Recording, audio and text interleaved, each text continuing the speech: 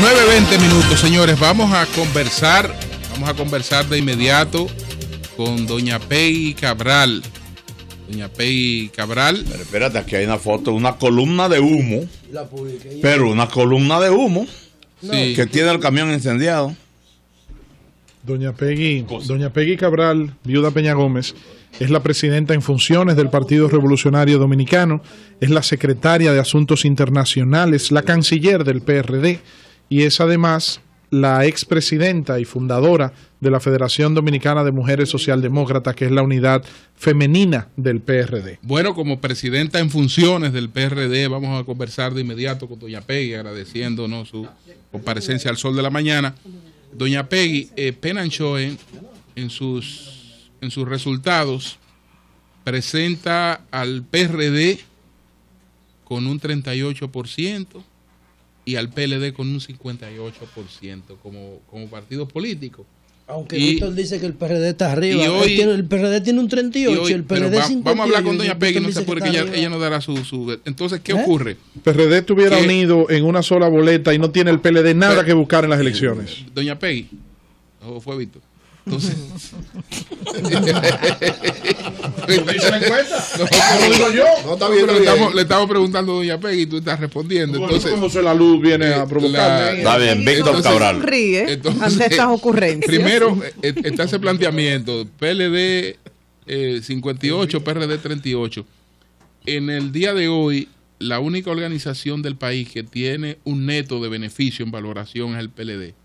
Que cuando le quitan lo desfavorable, eh, frente a lo favorable le sobra un 21% de favorabilidad. Al PRD le falta. Y entonces al PRD le falta favorabilidad, le falta al Partido Reformista, le falta a todo el mundo. Hasta la Junta le falta. A todo el mundo. Entonces, Bueno, pues primero, gracias por invitarme. Es la primera vez que vengo a esta, bueno, pero... esta entrevista. Realmente. Es- es un honor, doña Peggy. Sí, y voy conociendo a los integrantes de las mismas y, y cómo realmente es interesante estar aquí. Mm, Miren, yo con- respecto a la encuesta puedo decirle algo personal porque el partido va a contestar en las próximas horas. Pero Al yo- partido va- el partido va a producir Sí, una sí, respuesta en la próxima supuesto. hora.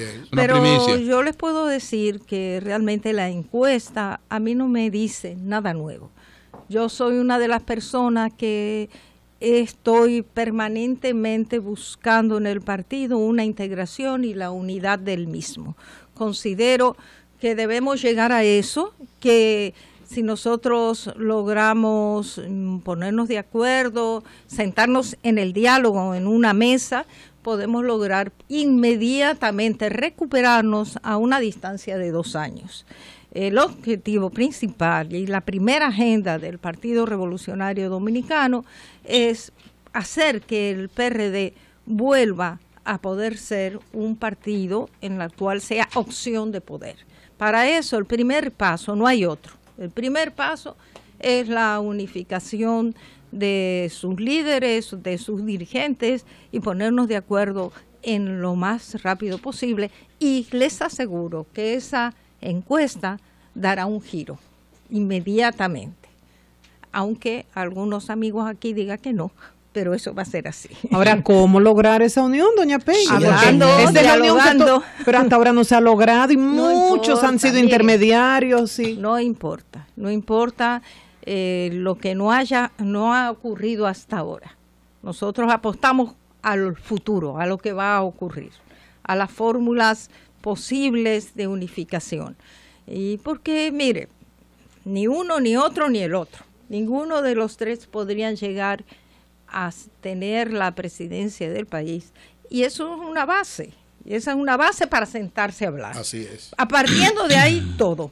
Partiendo de ahí debemos establecer encuentros, debemos buscar soluciones. Es la obligación de los de los que hoy están eh, pretendiendo ser candidatos. Doña es la obligación y la respuesta Eh, a Una sabes, cosa. Melton, que una de las dos reuniones eh, Fue que la se casa han de hecho recientemente entre... De eso voy a hablar. Ah, ok, ok.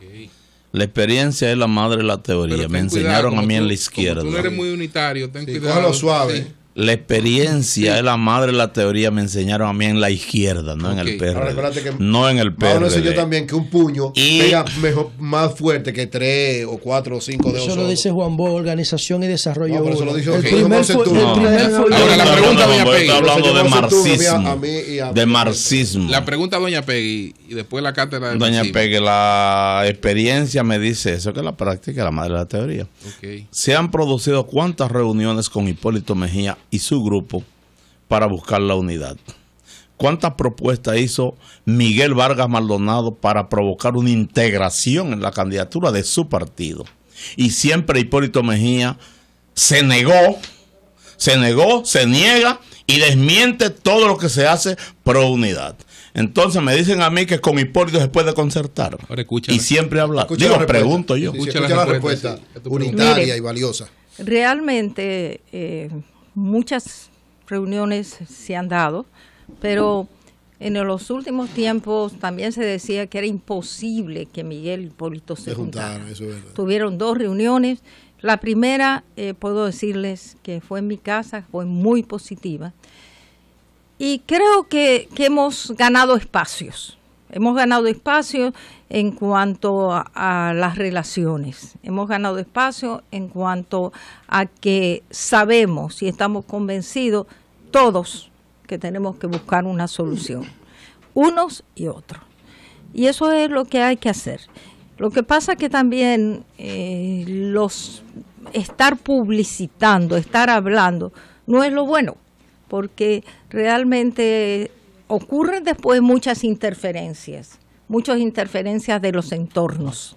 Y nosotros esperamos que nuevamente pueda haber eh, reuniones entre las partes y lograr el objetivo que es que el PRD salga unificado para las próximas elecciones. Algunos han hablado, aparte del resultado del PRD como partido, en cuanto a los resultados de Miguel Vargas Maldonado como posible candidato, algunos han hablado de que le ha afectado mucho la, falta de una línea comunicacional tan proactiva como los demás grupos dentro del PRD.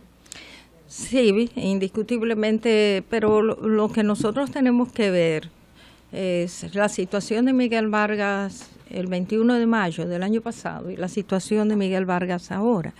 Él realmente ha ido recuperando, ha ido unificando. Muchos compañeros han decidido integrarse nuevamente al partido, no quieren participar en otro espacio político que no sea el PRD. Y eso va a ir fortaleciendo, se ha fortalecido y va a seguir fortaleciendo. Pero lo principal es la unidad. Esa es eh, realmente la clave para que nosotros podamos salir. Hay, hay algunos elementos que serían base de esa unidad, es decir, ¿cuáles serían los puntos en, en base a los cuales se puede dar la unidad? Porque el sector que está eh, eh, de la convergencia está hablando de una convención como, como, como condición para la reunificación de una convención en el, en el PRD. Desde luego, podría decirse que Miguel está haciendo convenciones, pero ellos no, no creen en esas convenciones, sino hablan de una convención abierta, Ellos no han querido Eh, participar, se han negado a inscribirse pero- y participar. pero sin embargo condicionan su cualquier unidad a eso. Siempre en el PRD se han hecho convenciones pactadas. Siempre, siempre.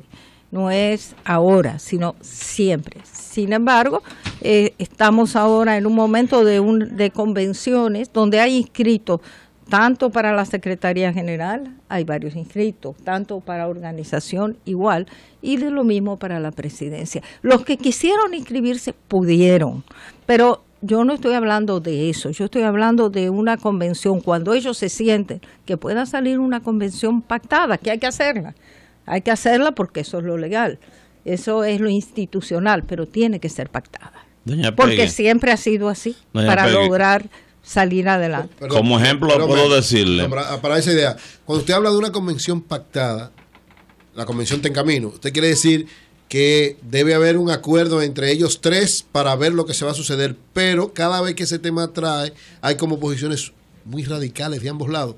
Piensa usted que antes de las elecciones, o sea, antes del año que viene, que ya es el año donde todo el mundo va a estar en campaña, cada candidato, si, si es uno por un lado y otro por otro, ¿hay posibilidades reales? ¿Usted cree que vale la pena el esfuerzo y hay posibilidades reales de que ellos puedan entenderse en un propósito común por encima de sus aspiraciones particulares. Claro que sí, yo estoy convencida de eso y pienso que antes de fin de año el partido podrá tener otra cara y otro resultado de encuestas.